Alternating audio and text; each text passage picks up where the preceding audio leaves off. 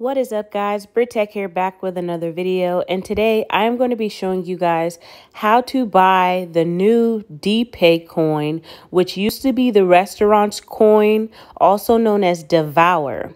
So yeah guys, they recently migrated to the version 2 of Devour token and it is now called DPay. So yeah, let's get straight into this video so I can show you guys how to purchase DPay.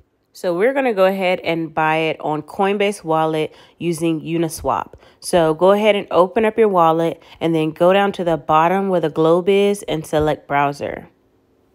Okay, so now you want to go ahead and navigate to uniswap.org.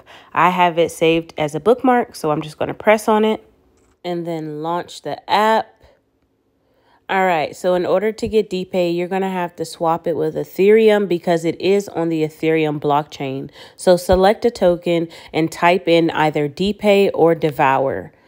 And if you type in Devour, you're going to see the old coin as well that was named Restaurants. So make sure you do not select that one, guys.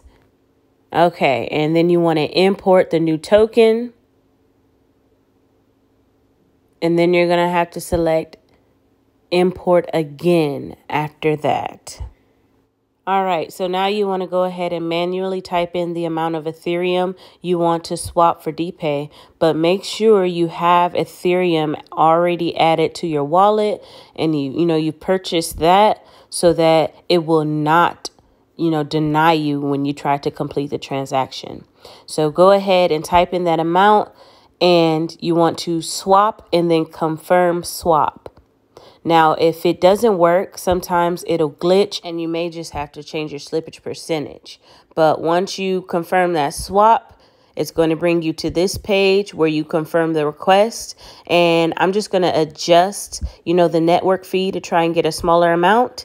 And then I'm going to confirm this transaction. And as you can see, it's pending. And once it completes, it's going to be added to my Coinbase wallet. And uh, yeah, guys, that's pretty much it. So I hope you guys enjoyed this video. Don't forget to like, comment, and subscribe, and I'll see you next time. Peace. Listen.